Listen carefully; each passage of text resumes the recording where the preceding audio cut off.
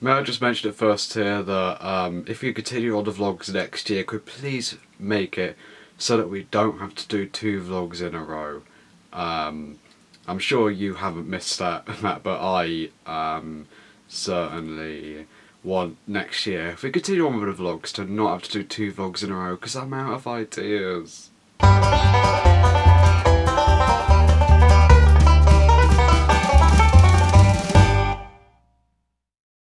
So yeah, I uh, don't know if we continue on next year, but anyway, we still got November and December, so um, yeah, any updates my life? Not really. Um, still talking about the election all over the place. I know it's still relatively new news, but yeah, um, I, I did say I'm pro-Trump.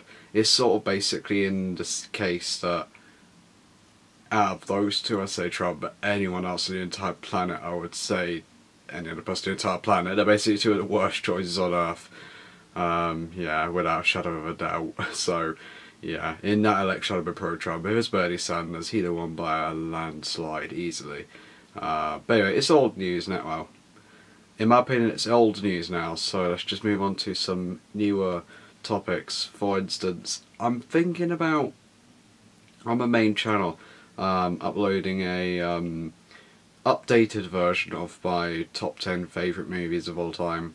Um, that was sort of a, in the previous vlog, that was sort of a rushed thing. I wrote, wrote I think I've already talked about this, but I've wrote it up like literally in um, maybe a minute, what movies I liked. Um, so I've made a bit of an updated version. I, I seem to recall I've talked about this. I don't know if I have. If I have, please um, tell me, Matt. But um, anyway, yeah, I basically ranked the movies based on several factors um, and came up with a definitive. Well, actually, I've basically ranked um, 125 of the movies that I remember enough to rank um, out of, I don't know, maybe the 500 plus movies I've seen. Um, so I've ranked up those movies um, in you know that order, all in order, including in my opinion a definitive top 50 and certain top 25. So I'm thinking I'm on my main channel in a few weeks, or maybe never. I don't know. My main channel's a wasteland. I'm going to upload a video um, of my top 50 or 25 favourite movies of all time. Um, so yeah, just a little update. Also, by the way, that list will basically could be completely the top 10 on that list would be completely different than the top 10 on the um, previous list because the top 10 uh, I was sort of rushing it. Now I've actually judged it. I think I agree with my top 10 way more this time around. So yeah if you want to see that please say in your next vlog. Um, and if I already talked about this before please say in your next vlog as well. Okay uh, I can't think of a lot else to talk about really. Uh, so yeah I'm just trying to think not a lot really. So let's just get into the movie review of Kill Bill Volume 2.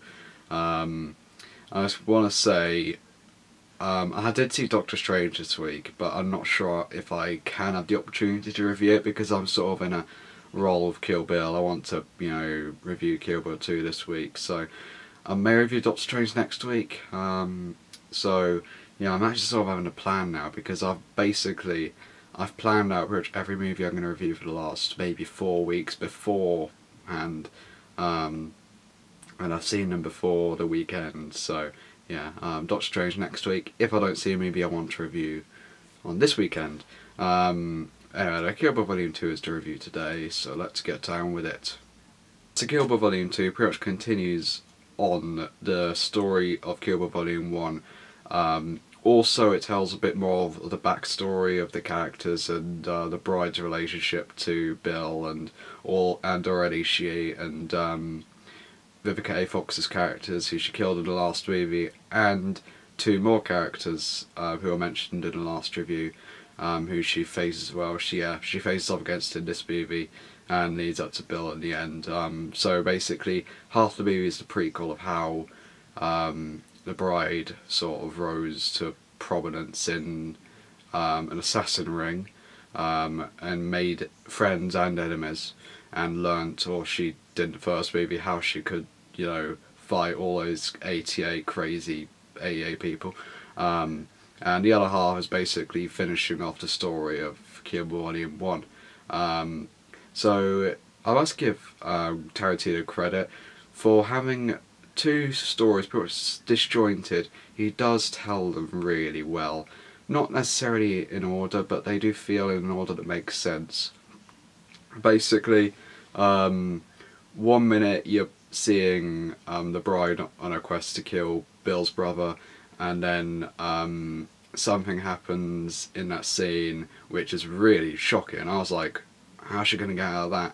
And then basically went into a prequel bit on how there's an old um, Chinese teacher who taught her several tricks about assassinations and everything and getting out of danger. And you see that used um, in um, the next scene, which is actually in a real time, if you know what I mean. Um, so I think the story is really well told in this one, and some of the bits do get really um, emotional and everything, especially towards the end. Um, and yeah, really, so, mostly ends are tied up. Even ends didn't want to be tied up were tied up. Um, the um, the eye patch um, is sort of the irony she had this movie. She's not as good. She does seem a bit ruthless, but not as ruthless.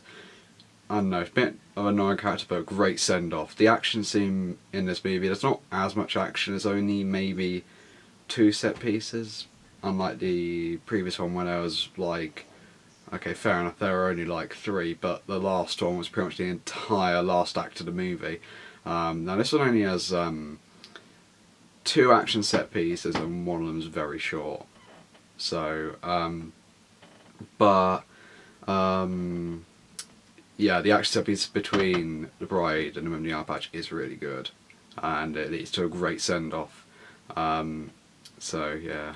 Also, I must say the confrontation between uh, the bride and Bill is really emotionally challenging at the end. You're not sure what to think of Bill because the amount of effort the bride's gone through to meet Bill and be like Bill sort of I don't think I'm giving anything away by saying it. He does he's not as bad as the people who she has killed. Um, and I'm not going to give anything away uh, because there is an even bigger twist. I'm not going to give away um, if you haven't seen it. Um, anyone watching the vlog, so uh, so it is emotionally challenging. Uh, but the thing is, this movie I wouldn't say it's as good as the first one because the thing that happens near the start, which I found shocking, I thought was a little bit too shocking because it's probably the first first real thing new that happens in the movie, not prequel based. Um, so yeah, it's sort of like, well, what we got two hours more of this. The bride's in this situation. Where do we go? I didn't like that about the movie. I know she got out of that situation, but yeah, and also the action set pieces coming off the first one, this one is more story driven, but I'd like to have seen more, especially a big action scene between her, um, Bill's brother, and the woman in the eye patch. Oh no, that's just yeah, it's only between her and the woman in the eye patch.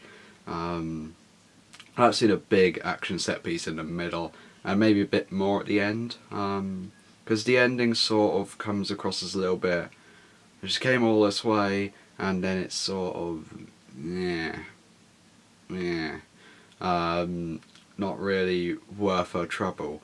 Uh, but I will say that the prequel part and all the ends they tied up with the actual first movie in it were unexpectedly good. Um, I think as a prequel, this movie does work.